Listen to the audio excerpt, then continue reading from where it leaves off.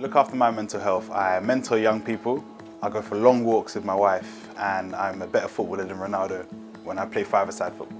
Uh, I book holidays, so it gives me something to look forward to. I do 15 minutes of meditation every day. And I talk to my friends who I can trust.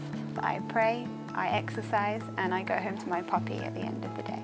I look after my mental health by taking medication, uh, seeing a counsellor and by getting outside. I like to spend a few minutes at the end of each day just writing down my thoughts and at the end of the month I review my thoughts and I start noticing trends in the way that I think. So I suffer from Tourette's so that means um, visibly I've got focal tics. I guess my best way of coping with it is keeping my friends quite close to me. I feel more relaxed around the office and less stress is less tics. I literally just get a post-it note, write down what's happened and the dates, put it in a jar and scrunch it up. Towards the end of the year I tend to reflect and see actually what positive things have been said about myself or what positive things have I done to someone else. Embrace the positivity and not negativity.